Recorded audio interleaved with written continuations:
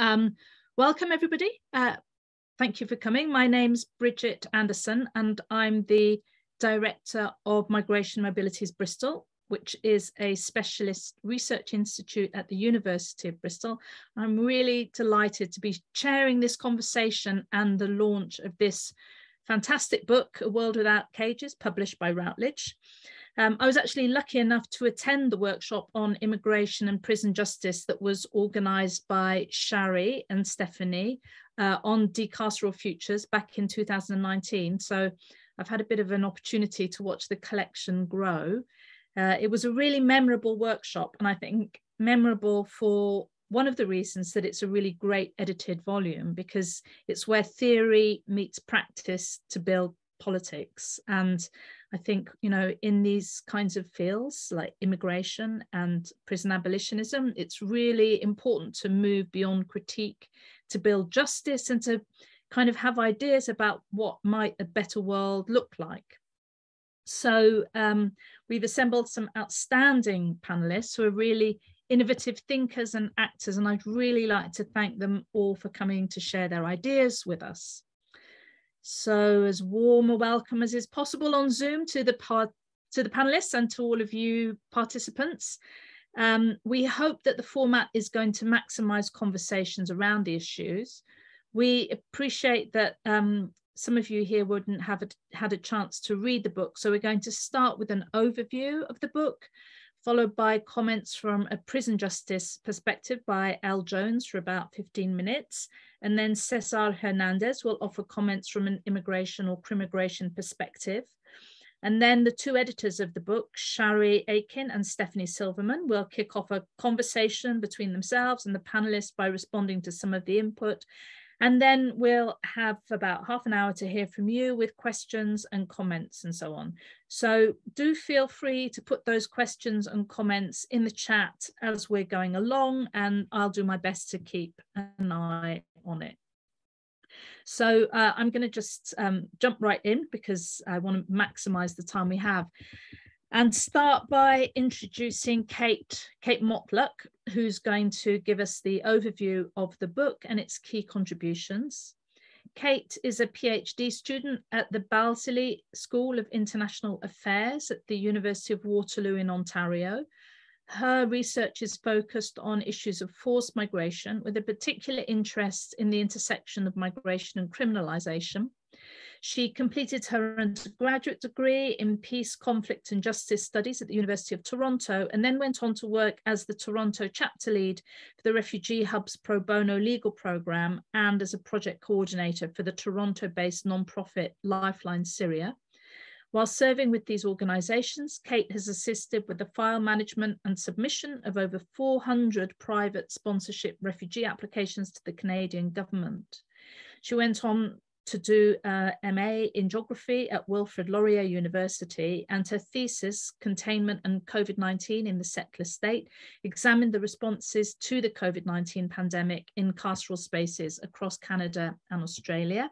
Uh, uh, welcome to you, Kate, and I'm going to hand over to you. Thank you so much, Bridget, for that introduction. And thank you so much to everyone for joining us today for this conversation on a world without cages. I'm going to quickly start my timer so that I keep to the time that I have. But as Bridget mentioned, I have the distinct pleasure of providing a bit of an overview of this text for those of you who have not yet had the opportunity to read it. Although, of course, I emphatically encourage you to read it when you have the opportunity to do so. And I'm going to make some preliminary comments on the methodologies that are used and some of the novel contributions that this text offers to us. And as Bridget mentioned, it's really fascinating that this edited collection is the end result of these conversations and presentations that took place back in May of 2019 at Decarceral Futures. And I think the fact that this edited collection is the result of this kind of collaboration really speaks to some of its key strengths, namely just how highly interdisciplinary and collaborative the end result is, and also that it truly seeks to abide by the maxim of nothing about us without us us. So not only is there great diversity in terms of the author's own personal backgrounds and their disciplinary approaches, but also the lived experiences with incarceration. And I really found when reading the text that they tried to forefront the voices of people with lived experiences at every opportunity. So, A World Without Cages really seeks to understand what carceral abolition can bring to citizenship studies. So there's this effort then to marry attempts to abolish prison, so penal abolition, and to abolish forms of migration co- control like immigration detention. And this is, of course, unfolding in different ways across different jurisdictions. So I'm based in Canada, and a number of the contributors to the collection were also based in Canada. And there, there are instances where some migrants who are held under migration controls are actually kept in prisons along with people who are being held under criminal charges. And as a result of that physical overlapping, there's a very clear alignment of these agendas, right, of abolishing these kinds of control. But what A World Without Cages does really deftly, I think, is demonstrate how even in spaces where there may not be this physical overlapping, there's clear overlapping of the logics that are driving this kind of confinement. Now, I do want to emphasize something that A World Without Cages does at many opportunities, which is that they never seek to privilege some identities as being worthy of better treatment than others. So, unfortunately, you can sometimes see this in some work on immigration where people will say, Isn't it so terrible that migrants are being treated this way when they may not have even committed a crime? Notwithstanding the larger conversation we'll have about immigration a little bit later. But instead, A World Without Cages is recognizing that criminals, migrants, all of these different people being placed into categories are ultimately people. And this form of deprivation of liberty is ultimately extremely harmful to everybody. While I was reading this text, I was struck by a quote that I had saved from Ruth Wilson Gilmore. And those of you in the audience who've engaged with abolition literature for a long time will, of course, be very familiar with her. But as someone who still considers themselves sort of newer to the struggle, just to bring everyone into the conversation in case you're not familiar, she's a very well regarded scholar and activist who has written extensively on the topic of abolition. And the quote that I'm using comes from her text on prisons, the prison system in California called the Golden Gulag. And she writes, it is not only a good theory in theory, but also a good theory in practice for people engaged in the spectrum of social justice struggles to figure out unexpected sites where their agendas align with those of others. And I think A World Without Cages really does this phenomenally well. Uh, Bridget already mentioned this idea of practice, right? Research as praxis. And that's clear throughout A World Without Cages. This emphasis on, although this book is ultimately a scholarly academic effort, there's also all of this attention being paid to how do we translate this knowledge into meaningful practice. Not only is there clearly an identification of how these agendas align between carceral abolition and citizenship studies, but I also found that at every turn, A World Without Cages really uh, resists this idea of treating injustices in isolation and takes a very intersectional approach. As a result, as you're reading through the different contributions, you'll notice a number of different analytical, lenses. There's a contribution that takes a reproductive justice lens, another that takes a political economy lens, and another still that takes a settler colonialism lens. And so by using all of these different analytical tools, we're able to nuance and tease apart these ideas of how carceral abolition and citizenship studies fit together to an even greater degree, and also complicate certain ideas that perhaps we might take for granted in other contexts. For example, I was really struck by a conversation about birthright citizenship that occurred within the text. So often there's sort of a knee-jerk reaction for those of us amongst in you know migration advocacy that birthright citizenship is a positive thing. So for those unfamiliar, this would be the idea that you know if there was a migrant in Canada who gave birth to a child, that child would get Canadian citizenship. And the positive to that is, of course, that they're not being born into a precarious status. But what the text cautions us is that we might be inadvertently then supporting the very category of citizenship, which is in part responsible for creating these categories of precarity that we're trying to fight against. So, this tension that emerges, and it's interesting too how they talk about this tension that comes about when you align yourself with those who are perhaps advocating against birthright citizenship, but you might find yourself aligned with people who have very different political goals, often anti migrant in nature. So, by having this intersectional approach, by thinking about reproductive justice, political economy, and all of these other anal- analytical lenses, we really tease apart some of these ideas that require complication in order to have a meaningful version of abolition at the end. It also continuously re-emphasizes the need to look upstream, to borrow a word from the text. So a need to understand, of course, what's happening in these carceral spaces. That is sort of the main focus and concern of the text. But what are these systems and histories that are bringing people to these carceral spaces to begin with? And understanding the ways that racism, sexism, ableism, heteronormativity are all woven into these logics and fabrics that are bringing people here. In addition to taking this approach that's very interdisciplinary in terms of the focus of what kinds of injustice are being rendered, pardon me, I'll just take a quick sip of water. A World Without Cages is also quite multi-scalar in its analysis. And so not only does A World Without Cages offer us um, case studies from North America, from Europe, from Asia, but it's also happening at different levels. And maybe this is a little bit hinted at with the title, right? A world without cages, which signals something kind of collective and more globalized.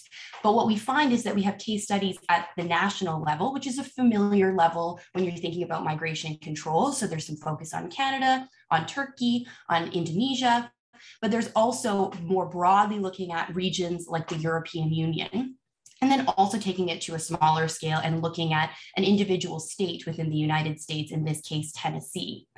And through looking at this diversity of region and scale, new sort of findings can come out as a result of that too. So not just that um, national policies have international implications, but really teasing apart what that can mean in certain contexts.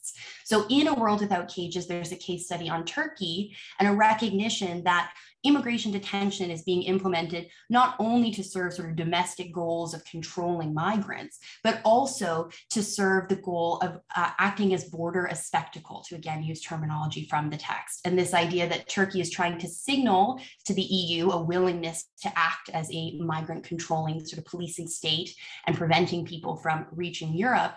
And this, of course, contributes to these ongoing conversations that we've heard a lot about, about Turkey seeking membership into the EU. And then at the smaller scale, if we start to look at an individual state within the United States, we find that we can go again even smaller to different municipalities, but also even to individuals. So this contribution looks at the role of individual sheriffs signing on to these contracts that are quite controversial. Some of you may be familiar with them, the 287G contracts, which allowed local police departments to take on the role of enforcing federal immigration law. So essentially acting in part like ICE agents. And as a result, you suddenly see these spaces that are far removed from the physical border of the US, acting as a space of border enforcement and border surveillance, and thus ultimately also border violence. But a world without cages for me is truly about the future, even though it's spending a lot of careful time looking at the histories of these forms of oppression and trying to bear witness to contemporary iterations. It's nonetheless doing so so that we can really imagine what a world without cages could look and feel like. And one thing that is um, certainly emphasized in the text is that reforms are not enough. We cannot reform away these underpinning logics of punishment, of domination, of dehumanization organization. And the text does look at alternatives. So it goes over some of these instances where alternatives to detention have been implemented. And it does find that in some of those instances, they are more humane. And I'm not trying to discount the value in reducing harm.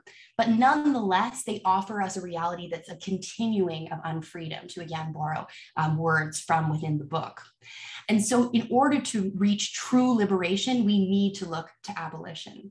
And what I take as the core message from A World Without Cages is that abolition is not a single solution, right? So it's not just about removing prisons and removing immigration detention centers. It's about crafting an entirely new world that's founded in caremongering, in mutual aid, in individual resistance, um, and collective solidarity.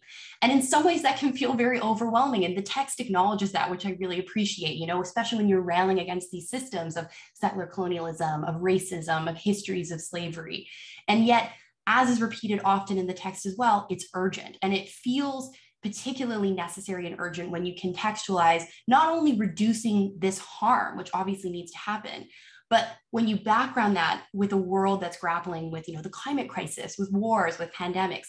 So in this way, for me, abolition is not just about the undoing of some things, but it's really about the undoing and redoing, perhaps, of all things. And there's something extremely hopeful about that as well. I wondered too when I was thinking through this idea of abolition as being all of these many things and not centered on just this one change. If, uh, and maybe Sharry and Stephanie will comment on this later, but it struck me that the original workshop was called Decarceral Futures, plural. And maybe it was getting to that idea too of the need to create all of these different futures in order to meaningfully achieve um, abolition. And I wanted to end my contribution today, and hopefully that was a good way of introducing everyone to the text with some words from the text itself. So this comes from the introduction, which was authored by Sharry and Stephanie, and they're sort of summarizing some of the ideas that they found um, emerged when looking at all of these contributions together. And note that the contributors are thinking across the spectrum of defunding policing, overhauling the criminal justice system, eradicating prisons, penal abolitionism, and doing away with all forms of containment, carceral abolitionism. The collective findings reaffirm that neither the prison nor the detention center is inevitable in the modern democratic order. Abolishing all forms of immigration detention would open the door for the emergence of new visions of justice. And I think it's through opening that door that we really start to see what a world without cages could look like.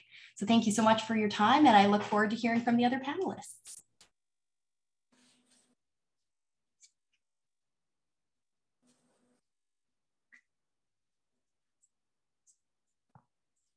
I was waiting for Sorry. an intro. Oh. Sorry, I'm not very still after all these years. I'm still not managing these wretched buttons. Thanks very much, Kate. That was absolutely um, that was absolutely fantastic. And I do think that there is something about um, you know these making about the ways in which when we think about futures and make futures that we are actually also making spaces in the present and we should you know and like the space that we're all in now which unfortunately is virtual. But um yeah so i really appreciated that. Um and um, now I'd like to uh, introduce El Jones, a poet, journalist, professor, and activist living in Halifax, Nova Scotia. She was Halifax's Poet Laureate from 2013 to 15, and she teaches at Mount St. Vincent University, where she was named the 15th Nancy's Chair in Women's Studies in 2017.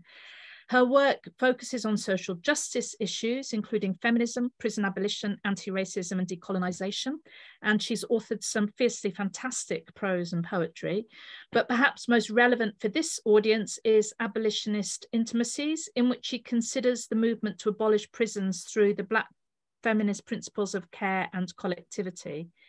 Understanding the history of prisons in Canada and their relationship to settler colonialism and anti Black racism, she observes how practices of intimacy are imbued with state violence at carceral sites, but she also shows how intimacy is integral to the ongoing struggles for justice and liberation through the care work of building relationships and organizing with people inside. And she argues beautifully that abolition is not only a political movement to end prisons, it's also an intimate one, deeply motivated by commitment and love. Really looking forward to your comments, El. Thank you so much. And as I said, I apologize. I have to do this from my phone. So calls may come in. There's no way to block them. So if I get knocked off because the call came in, I'll just come back. So please be patient. So, good afternoon, everybody. I'm speaking to you from Kjipuktuk, Halifax, Nova Scotia, the unceded and unsurrendered territories of the Mi'kmaq people. Um, this book is coming at a really, I think, important and fraught time in uh, our activism in Canada.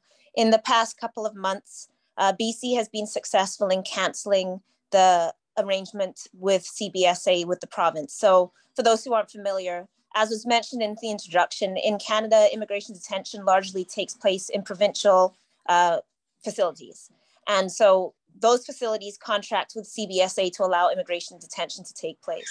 So in BC, there was a successful campaign from Human Rights Watch and Amnesty International that demanded that the province end those agreements, thus ending the practice of provincial immigration detention. And that campaign has now moved to my province in Nova Scotia and also in Quebec. Now, of course, there are challenges with that because we know that the state, when we uh, close one avenue of incarceration. It's not like then they just let us all free. We know that we're going to move to other forms of detention. As is mentioned in this book, there's discussions, for example, of electronic surveillance and the ways that those kind of mechanisms of carcerality are coming in. Um, I myself am currently paying for a bracelet for somebody because the option was jail or bracelet. Um, the cost is incredibly expensive beyond obviously the ability of most families. Um, I've said ironically that the number of crimes that are committed so that people can pay for these bracelets, you know, but I'm being ironic, but of course it's quite true, right? That people who are already on subsistence living now have to pay uh, 600 plus dollars a month for electronic monitoring, which comes out of your own pocket. Um, so to say that we are guardedly optimistic. I think uh, getting the provinces to end this agreement is an important one, but also a challenging one, as we know that, as Katherine McKittrick tells us, um, Black Death and the prison will always renew itself again and again and again. And Lisa Lowe as well reminds us of this, that the settler colonial state will always reincarnate itself in new forms under the name of reform. Secondly, people may be familiar with uh, the letter written by Jamaican farm workers in the last couple of weeks. Um, this has been quite some news. So uh, the farm ministers, the minister responsible for farming in Jamaica was going to come and tour farms in Canada. And in response, an incredibly courageous move, the workers on those farms and a couple of farms in Ontario wrote an open letter. And this is, of course, courageous because the kind of retaliation that happens to workers when they do this is extreme. And they described their um, conditions variously as systematic slavery. We are treated like mules uh, they compared the conditions to prison, which is very relevant here, and said they are experiencing exploitation at a seismic level. And people can find that letter online if you're interested. Um, so this was in many ways an unprecedented move where a collective of farm workers addressed the Jamaican ministers to reveal the conditions that they're experiencing. And this was of course after the death of a farm worker named Garvin Yapp, who died while on the job. For those who aren't familiar with uh, the Canadian Farm Worker Program, those who enter the program do not have a path to citizenship. They have no right to healthcare, education, or any status in the country. They come at the whim of their employer and they can be removed at any time. And there are multiple removals that take place. So they come here eight months a year on minimum wage under the idea that these wages are adequate in Jamaica and they have no kind of status or path to status at all in the country. So that was actually a very important moment where those workers banded together to give us a picture of what is happening. As may be expected, the minister said they were going, he was going to tour the farms and then said publicly that he saw no problems on the farms and everything was fine. So boo to him. Um, finally, an academic letter has been circulating demanding status for all that many educators have signed on. So to say that we're in a period in Canada where migrant worker activism and uh, anti uh, carceral immigration activism is incredibly powerful. I come to this work through my work in prison justice. I sometimes say I became an abolitionist at age 13 when I read Ballad of Reading Gaol by Oscar Wilde and was immediately struck by the injustice of prison. Um, in my adult life, I began working with those inside prison in relationship with them. The title of my book, Intimacies, is um, I don't really like this phrase working with, like as if it's a chore. We are, I'm in relationship with, friendship with, love with, uh, many people who are incarcerated, and we work together to organize for liberation. And in the course of that work, um, because of the ties between the immigration system and the criminal justice system, um, really we were just thrown into also doing anti-deportation activism. So the last chapter of this book deals with the case of a young man named Abdul Abdi, a Somali uh, refugee who came to Canada with his sister Fatuma. Um, they were taken into the government care, into the child foster program as children, and they did not receive citizenship. Um, their aunt, who had come with them and who is with them, who identifies as their mother, actually at various points applied for citizenship herself, and they took the children off the application and said, "Well, you don't have guardianship." When Abdul turned 19, after being bounced between 31 different homes, including uh, youth care, so youth jail, which again shows how many children that are in the refugee system end up criminalized as youth, um, including group homes and of course many temporary housing situations. Both children, both Fatuma and Abdul were brutally abused in all of these situations, abuse of every possible kind. And when Abdul turned 19 years old and committed a crime, he was scheduled for deportation. Um, minors in Canada until 2017 could not apply for citizenship on their own behalf. So there was simply no way that he could have got citizenship. And as well in our system, youth crimes are treated under the immigration system as adult crimes. So while we have a Youth Justice Act that recognizes that children are differentially responsible, when it comes to immigration consequences, the very same holds are put on youth. So if you commit a crime, uh, a so-called crime, I don't buy into this idea of crime, but you know, if you're criminalized, um, then you have a five-year hold before you can even apply. Abdul was criminalized by the age of 10. And one of the first encounters he had with the police in the child welfare system was his sister was removed from one of the homes due to sexual abuse. Abdul was left there and he took the family car to go looking for his sister, his only family member, and the police were called. And this is, of course, very common for children in child welfare. I could speak about the Abdul case for a long time. I encourage you to read the chapter. Um, we became involved when Abdul's cellmate, who is actually the nephew of a very famous case in Canada, a woman named Ashley Smith, who died uh, in prison. She'd been taken into prison as a youth for throwing apples at her probation officer, um, was moved from solitary confinement to solitary confinement, remained in uh, confinement as an adult, and began to essentially stimulate herself by wrapping things around her throat in order to get attention or to feel some kind of human connection. And she died in GVI, a woman's prison, after she strangled herself with her sheets and the guard stood outside her cell for 45 minutes and watched her die. And that is a very, very famous case in Canada. Her nephew became incarcerated. Um, in fact, many of her family members are incarcerated. And her brother, Corey, who was in prison at the time when he found out about her death, very famously um, you know, just freaked out on staff and they reinforced his cell with like steel. And that cell is a notorious cell. Everyone calls it Corey's cell. And if you misbehave, you're placed into this cell. Her nephew uh, was incarcerated with Abdul, and it was his call that began the activism for Abdul. He said, This young man is here, and there's something we need to do something.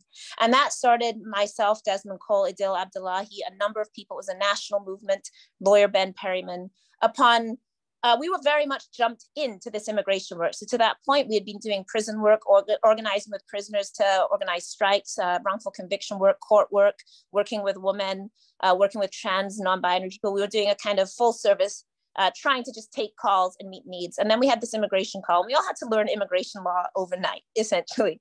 Um, and Ben Perryman was um, extremely helpful in that process. Uh, that case, we were actually successful, and we were able to successfully um, halt Abdul's deportation.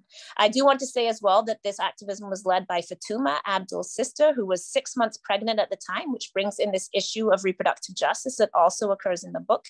Um, she was actually supposed to be on bed rest but uh, you know she said i'll do anything i can for my brother and quite famously stood up in front of our prime minister and said why are you deporting my brother would you deport your own son and then waited for his answer. And this began a movement in canada where former child uh, refugees former children in care without status are now suing multiple governments. And abdul and fatuma are suing our provincial government in nova scotia for their neglect. It also caused a policy change where in nova scotia. They now have to ensure that youth in care have citizenship. Um, I don't have a lot of time, so I can't tell you all of Fatuma's story, but many people know Abdul's story. Fatuma's story is extremely important also for its gendered aspects. Um, she had many children removed from her by child welfare, and one of her children actually died in care and has not even been given a headstone. So she does not know where that child died. Um, so that illustrates, I think, so many things about this system. So the case of Abdul, I think one reason why it became headline using Canada is it really exemplified all of the issues that this book takes on. We have reproductive justice, we have the treatment of Black youth, um, absolutely not receive an education. We have the intersections between both the adult criminal system and the youth criminal system, the child welfare system, um, and of course the refugee system. So all of these things came together in that case and Black people in Canada responded on a huge level because people recognized uh, what was happening here. That was quite unusual because often, of course, there's a stigma where people feel like these people are embarrassing us. Very much there's the idea of the good immigrant, you know, the settlement, settlement the person who deserves this. You know, we have uh, very much a narrative where um, those who are immigrants feel like they should be grateful, um, you know, that they owe something to this country. And these kind of people are an embarrassment and make it harder for the good immigrants. So one thing that was quite uh, effective in that case was it was in fact a lot of good organizations for the good settlers that agreed with us that what was happening to Abdul was egregious. Um, so I just want to cite that. I also just to tell some more cases where these intersections take place. I've been recently working, I won't say his name, um, but a young man who was incarcerated, he had been incarcerated federally. And then as happens, if you, your sentence expires and you're scheduled for deportation, you end up reincarcerated in a provincial facility. I need to speed up. I'll tell these two really quickly and then we'll end. Uh, you end up reincarcerated in a provincial facility. That's called gating by guys in prison. Um, and that reincarceration, as you wait for deportation, is indefinite and unlimited. So it's until they can deport you. Um, he ended up with stage four cancer. They did not take him to be treated as he was passing out, uh, passing blood, losing half his body weight until the men in prison literally refused to lock up, risking disciplinary consequences themselves and said, you have to take this man to prison. That began, I mean, to, to hospital. That began a year long ordeal of us trying to get him out while battling the two intersecting systems, where he had, in the meantime, while returned to jail, he'd been peripherally involved in a jail fight where they heavily criminalized everybody in this fight um, held people on these massive charges like attempted murder, conspiracy to commit. Everyone ended up charged with like obstructing officers. That was all they got sentenced with. But in this course of overcharging everybody, he ended up caught up in that and then ended up with criminal charges again on top of his deportation. We had to make our way through this double system to get this man out so he could die at home. Um, and that has been a long process. He is currently, of course, uh, on an ankle bracelet that we had to pay for. I have to pay security fees for police to take him to the hospital every month, and they charge me for two days of salary every time. So I have to pay thousands of dollars a month so this man can go to a medical appointment. He does not have health status. So we, um, it is only because his doctor is agreeing to treat him for free through a migrant health center that he's uh, uh, able to get treatment. And one thing that's interesting about that is that one of the arguments they made to detain him was, well, since he's in prison, he has health care. And if he doesn't, if we get him out of prison, we won't give him health care, so he's safer in prison. So this is actually one of the arguments made during COVID for a man with stage four cancer.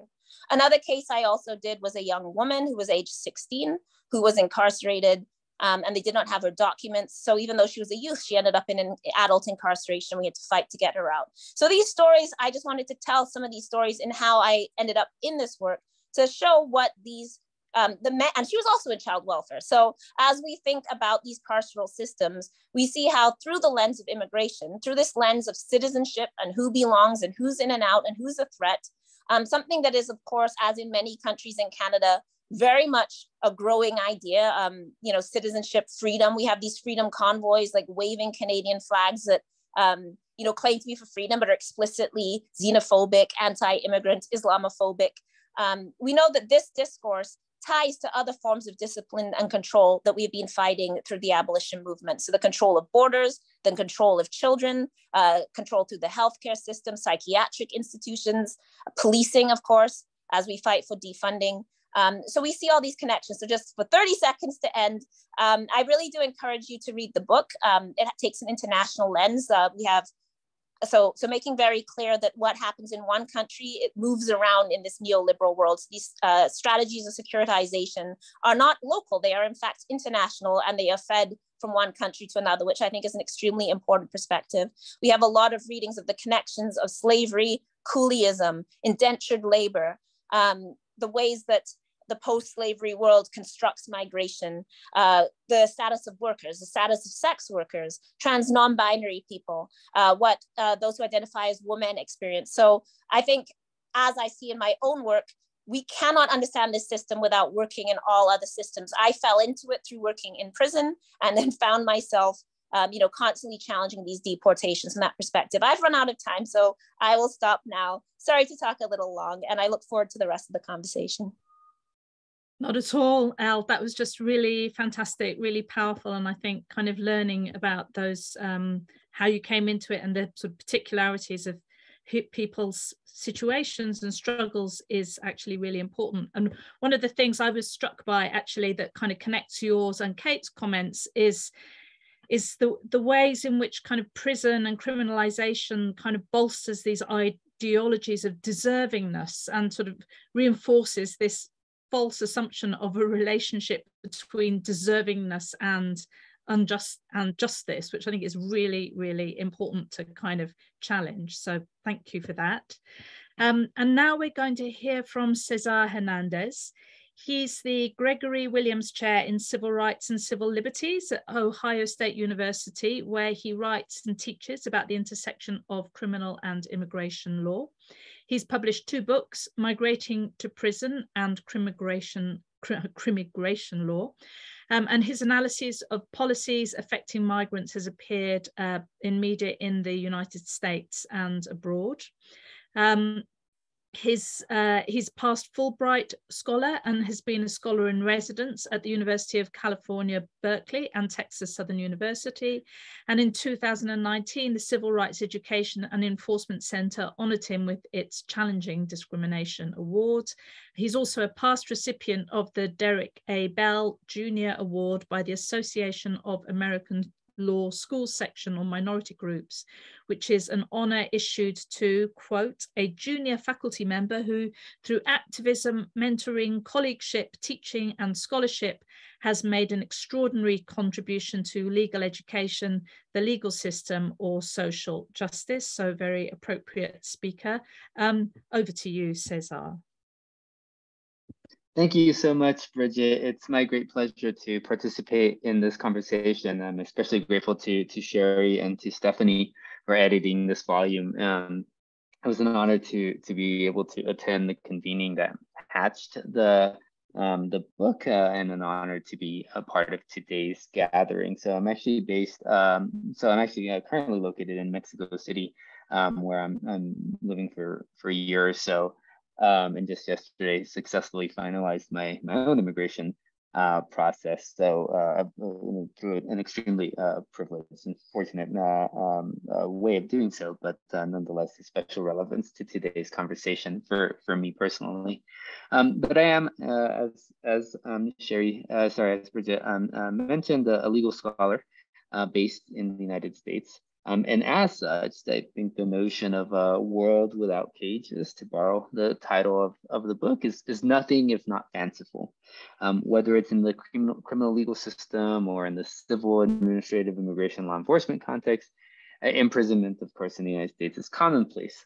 Uh, arrest is routine, conditions of confinement are harsh, the prison estate is expansive, in practice, um, just like in law, it's easy for government officials to deprive people of their liberty. Um, and while most people are eventually released, they're released on terms set by others, by police, by prosecuting attorneys, by judges. Um, and various phrases have been used to describe what's more or less the same phenomenon of extraordinary incarceration. There's probably the, the most well known of the phrases mass incarceration, there's hyper incarceration, there's the new Jim Crow. And in this decade long political context in the United States, it's easy to find uh, much to criticize. But directly and indirectly, several of the contributors to this volume go well beyond that. Most explicitly, Michelle Brown writes about the pernicious effects of um, these 287G agreements that Kathleen uh, mentioned earlier, um, 287G agreements through which the federal government's immigration law enforcement entities are augmented by state and local police forces. And given the decentralized nature of policing power in the United States, uh, Brown's treatment of cooperative arrangements like these 287G agreements is remarkably important. Through initiatives like these, traditional criminal police agencies are transformed into immigration law enforcement agencies. In the process, borders effectively migrate. Instead of the international boundary being situated along a specific geopolitical mark, uh, the power of immigration policing that reaches into communities well into the nation's interior means that borders can be and are created anywhere. As border policing has spread, so too has resistance. Brown writes about organizing that occurred in deeply conservative, politically conservative Tennessee after a large immigration raid at a meatpacking plant there. And similar examples could come from Texas or Georgia, Florida, or Iowa, and other states that are consistently governed by immigration restrictionists.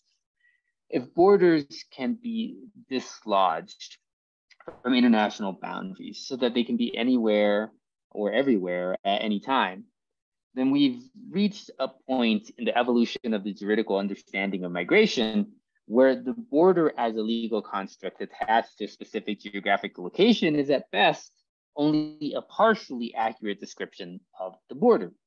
To find a more comprehensive definition of the border, we might instead think of borders as mobile exercise of police power capable of encircling people deemed deviant. Perhaps that deviance is tied to citizenship status, with borders encircling migrants. Or as Nandita Sharma's uh, contribution to the book illustrates, perhaps it is tied to enslavement, the legal status as so-called coolie labor in British occupied India. Perhaps it's sharecroppers in the United States of the early 20th century, or people convicted of criminal offenses more recently. Through various technologies, all of which are deployed or have been deployed under the authority of legal regimes, each of these markers of deviance has distinguished the desirable from undesirable members of a community. In effect, deviance has constituted the borders of a national community. On the inside are the righteous people in need of protection. On the outside, the fallen, dejected, dangerous bodies of the enemy, to paraphrase Jessica Evans's contribution about Canada. This is an amalgamation of undeserving bodies who are rightfully excluded because they perpetually pose a threat, either to the bodily integrity of individual members of the community, or worse, to the community's very existence. The stakes are, are high, so policing borders becomes necessary in that logic. Through the overseer's whip or the police officer's baton, violence always threatened and sometimes realized, is the sign that all is in order. A border without police is a border that does not exist. A community that has no border is a community that has no control. A community without control is a community that is not sovereign. And without sovereignty, all that is left is chaos of a romanticized community run amok aliens. Standalone border policing agencies, of course, are, are no exception. Their tools are the same. In the United States, there's tens of thousands of law enforcement uh, agents who, who work for the Federal Immigration and Customs Enforcement or the Customs and Border Protection Agencies, the two uh, primary divisions of the Federal Department of Homeland Security with responsibility for immigration law enforcement um, uh, duties. Their task is to identify people who have potentially violated immigration law, apprehend those individuals, and forcibly remove them from the United States. To do, this, to do this, they are bolstered by the late 20th century's policy innovation, a sprawling archipelago of prisons. Their steel and concrete architecture putting on display the brute force that the state is willing to expend to protect citizens from aliens. They are also aided by an early 21st century addition to this continuum of unfreedom, an evocative phrase that Anya Misbach deploys. Both ICE and Customs and Border Protection tap previously unimaginably large amounts of digitized, digitized data, from motor vehicle driving records to electricity usage, all accessible almost instantaneously through sophisticated portals that are created and maintained and then contracted to the federal government by third-party private entities like Palantir and Thomson Reuters. The border spectacle that Esra Kaytaz describes in the Turkish detention context is well resourced and on solid legal ground in the United States. Congress lavishes ICE and Customs and Border Protection with generous funding to police migrants. Courts afford immigration authorities immense flexibility in identifying and apprehending, confining, excluding, and deporting people. Border policing has become naturalized such that its existence is not doubted, its, its form is rarely questioned. When it comes to border policing, the state can exempt, to, to quote for, from uh, Nisha Nath's uh, contribution, exempt itself from having to explain why it does just what it does. Indeed, the state's violence in defense of borders is justified so thoroughly by the migrant's legal transgression that it's difficult to see the state's coercion as violence. If a migrant has violated immigration law, is it even violence to tear a child from a parent, to confine an entire family together, to banish someone from the place they call home? As borders have migrated, also means that borders can be transgressed anywhere, at any moment through a variety of methods. Though borders shift in form and in place, policing movement remains central to their vitality. The border's significance wanes as movement becomes more accessible. This is the freedom of mobility that Brown says is, the, is at the heart of an abolitionist politics. And freedom of movement, in Sharma's words, build, building from Arendt, is perhaps the most elementary of all human liberties. Humanity begins with the story of mobility, escaping, escaping ancient oceans, ocean waters in some pre-human form. In multiple versions, mobility defines conceptions of a people. In Islam, mobility begins with the Prophet Muhammad. In Christianity, with the first family. For Jews across the centuries, mobility has been critical to survival. For many migrants today, it means much the same thing. For others, it means opportunity. Either way, mobility remains an essential component of self realization, an exercise of autonomy. When the state elects to curtail, even to eliminate cross border movement of people through policing, then perhaps it is right to think of actual mobility as inherently abolitionist.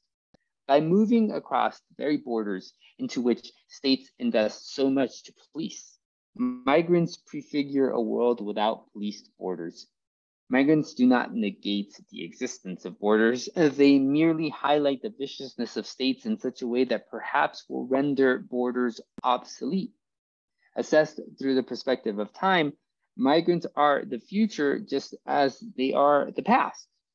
In the words of the Colombian novelist Laura Restrepo, the future is not sedentary civilization, but mobility we will all be moving soon.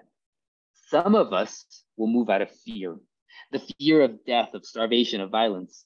Some out of despair, despair over the present, despair over the future. Some out of love, love of family, love of a shared vision of a community. Some out of adventure, the adventure of something new, the adventure of walking unfamiliar streets some out of a complicated mix of reasons that even they do not understand. Some for reasons that I cannot contemplate, perhaps that we collect, collectively today cannot imagine, because neither the past nor the present prepare us fully for the future. Just like none of the reasons for migration should be idealized, neither the past nor the future should be romanticized. Indeed, this collection stands firmly as a call to embrace alternatives to the present romanticization of the past that leads to a fetishization of a nation state's bureaucratic ability to order people, organize people by worth. This reason justifies migration, that reason does not. This person bears the good reason, but not the bad. That person bears the bad only, but not the good. Instead of reproducing the hierarchy of reasons that fill immigration statutes around the world, this collection stands squarely alongside the migratory, migratory future that the novelist Restrepo sees.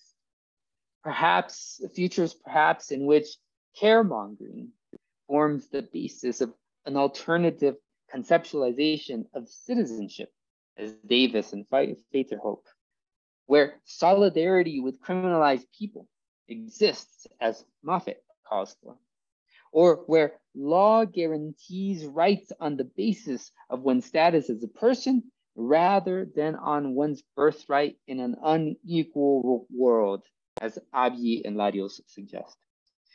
Today is the moment in which it is imperative that we take seriously those alternative futures.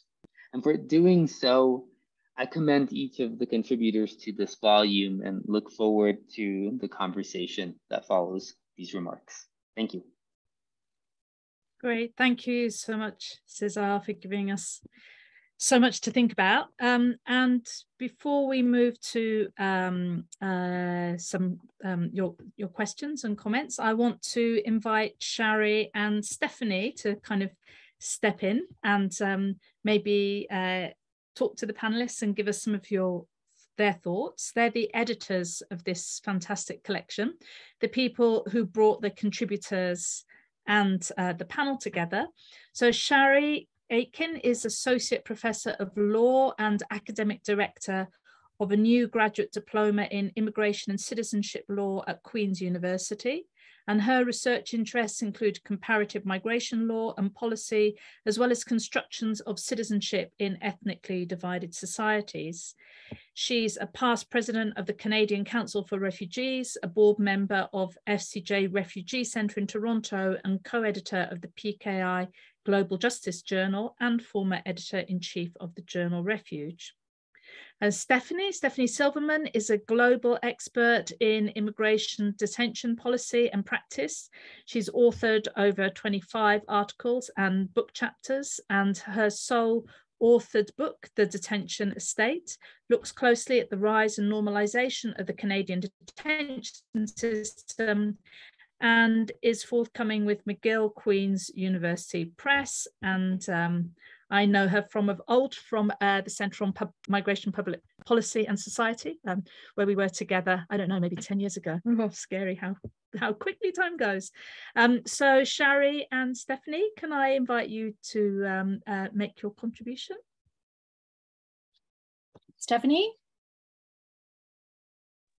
I just thank you everyone uh, for coming. I wanted to also acknowledge that some of the contributors from the book, as well as the workshop, as well as the special issue, and our many conversations that Sharry and I have been very fortunate to have on the side of those formal avenues are present. Um, some have been coming in and out, and uh, we just appreciate your making the time uh, to continue this conversation with us. Um, and yeah, I was just thinking more about how the workshop was, you know, better than I could have expected. and I did that like with someone with very high expectations because, as we all know, it takes a long time to put together an academic workshop. Um, and that uh, that Sharry and I had envisaged it as the beginning of, of other sort of forms of exploration. And it's just um, so nice to be continuing this and that the readers or the commenters on the book and also Bridget have been doing exactly that again. Like they've been taking the book as a, as a piece and then um, expanding out. Um, so I, um, I, I, really appreciate uh, how Kate gave us such a great overview um, of the book and how we are trying to bring these disparate conversations together. Um, and there are uh, pitfalls and challenges, but also, you know, lovely kind of synergies that came out of that. Um, I appreciate El's comment um, about sort of the factual situation and the very individual and personalized toll of these greater systems that Kate had been describing. So I, I thought that was uh, really interesting. Um, I hadn't heard the term gating before, so I'm going to have to uh, look that up and, and add it to my sadly expanding vocabulary.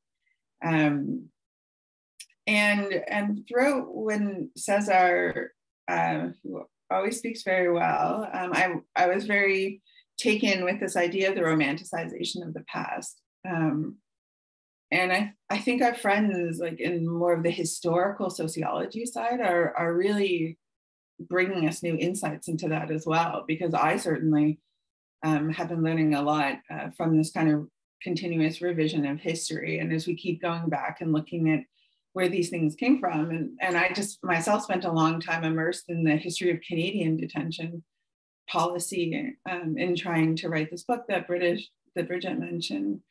Um, and just uh, sort of these hidden in plain sight, uh, which is something that I've been trying to do a lot of my own work, but I've seen it more and more in history. And I think um, that in the law, Sharry and Cesar and others are really showing us how that was done as well. And just one final comment, just about the word alternatives. like everyone's talking about these alternative futures, but for me, it's almost like the word has been sullied uh, by alternative to detention. Um, so, so I'm just interested in this kind of um, word practice. Like, how do we take back this word, or do we give it up and find a better word? And just in Canada, to meant to come off of what El and others were saying about these freedom convoy protests, people may have heard about it outside of Canada, but um, I was uh, people I've been talking have been saying that almost as though the flag itself is now associated with um, with the protests. And so the question is, do we try to take back the flag or do we do something else? And so I wonder if it's the same with alternative, like this word, like do we do something else when we think about like new futures? Do we leave the word alternative to the side? Um, so yes, thank you for your contributions. And those are just some of my thoughts.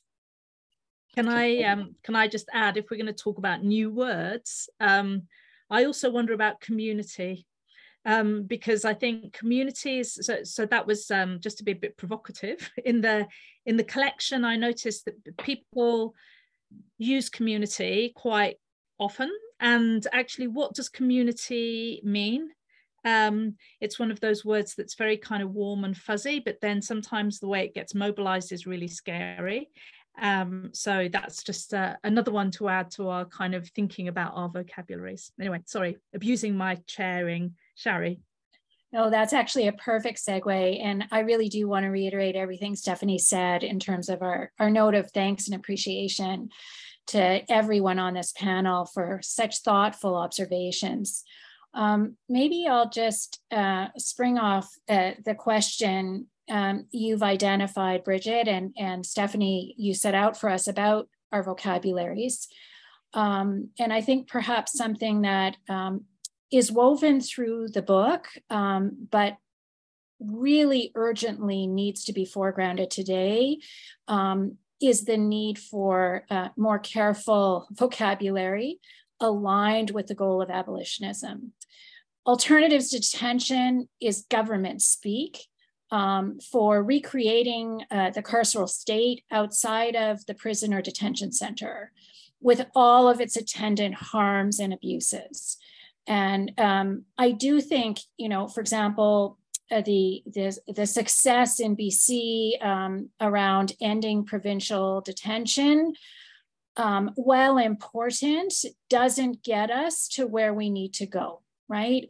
Because immigration holding centers, you know, are ever present. There's a brand new one in BC with expanded capacity. Um, and then even when people are released under an alternative to detentions framework in the Canadian context or elsewhere, the carceral state is ever present because of that ankle bracelet, because of restrictions on mobility. You know, even people who are released um, are subject to uh, not just ankle bracelets and that kind of surveillance, but significant curtailment of their liberties.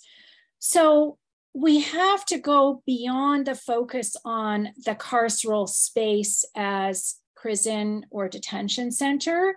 We have to start looking at the root causes um, uh, and how the violence of the state is exercised in relation um, to these ultimately social problems, whether we're talking about racism, enslavement, indentured labor, poverty, mental health problems.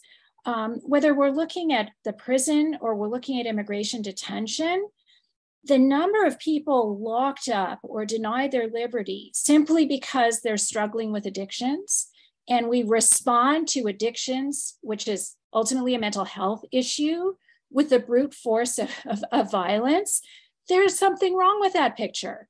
A colleague of ours, uh, Simon Wallace, uh, um, uh, just presented a very interesting study at a conference Stephanie and I attended uh, a few days ago, in which uh, just in one short month last summer, he looked at all the detention uh, cases that had been adjudicated um, in Canada and found that the vast majority of detainees were not actually new entrants, uh, folks seeking entry into Canada. They were people who'd been in Canada years and sometimes decades and fell out of legal status, right?